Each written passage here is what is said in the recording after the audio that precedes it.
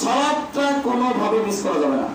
এটা মৌলিক ইমানের সাথে রিলেটেড যে তুমি যে মমিন, তুমি যে কাফের পার্থক্য হলো সালাদ এই জন্য সালাদ কোনোভাবেই ত্যাগ করা যাবে না। এছাড়া ইমানের যে অনেক শাখা আছে, রাসূল বলেছেন যে সত্তরটিরও বেশি শাখা, সর্বপ্রথম শাখা হলো লা ইলাহা আর সর্বনিম্ন শাখা হলো ইমাতাতুল আজানিত তরিক রাস্তা থেকে কষ্টদায়ক বস্তু সরিয়ে দেওয়া। আপনি সরাইলেন না। এটার আপনি ইমান চলে যাবে না।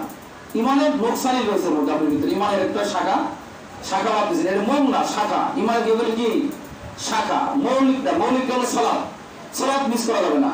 আপনি যে মমিন, আপনি যে ইমানদার, এটা সলাপ আদায়ের মাধ্যমে প্রমাণিত হবে। এটা কোনোভাবে মিস করার সুযোগ নাই।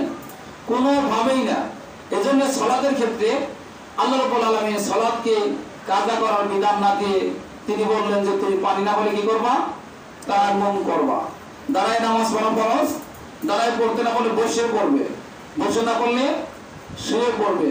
অসুস্থ অবস্থায় মহিলাদের বাচ্চা গর্ভণে নামাজকে মাফ করে দেওয়া হয়েছে।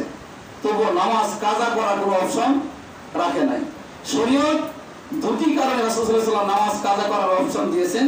এই দুটিও কাজার মধ্যে পড়বে না, এটাও আদায় হয়ে যাবে। যেহেতু তিনি শরীয়ত প্রণেতা যিনি, তিনি যদি পারমিশন দেন বিবেচনা রাখেন কনসিডার করেন, তাহলে তোর কাজার মধ্যে পড়বে না। তিনি বলছেন কি, কেউ যদি ঘুম থেকে উঠে দেখে যে নামাজের টাইম চলে গেছে অনাকাঙ্ক্ষিত ভাবে ইচ্ছাকৃত না, প্রত্যেকদিনে তার অভ্যাস না, তাহলে সঙ্গে সঙ্গে সে নামাজ পড়ে নিবে। আরেকটা হলো কেউ যদি ভুলে যা মনে থাকে না, হঠাৎ করে হুশ জ্ঞান থাকে না বয়স্ক মানুষ, অসুস্থ মানুষ, হুশ জ্ঞান সমস্যা মাঝরা হুশ ফিরে, এরকম, তাহলে যখনই সে স্মরণ করবে, তখনই সলাৎ আদায় করে নিবে। সলাদ একটা ইমানের সাথে প্রমাণ করার জন্য। তাহলে অন্তর দ্বারা সত্যায়িত করা, মুখে স্বীকার করা, কাজে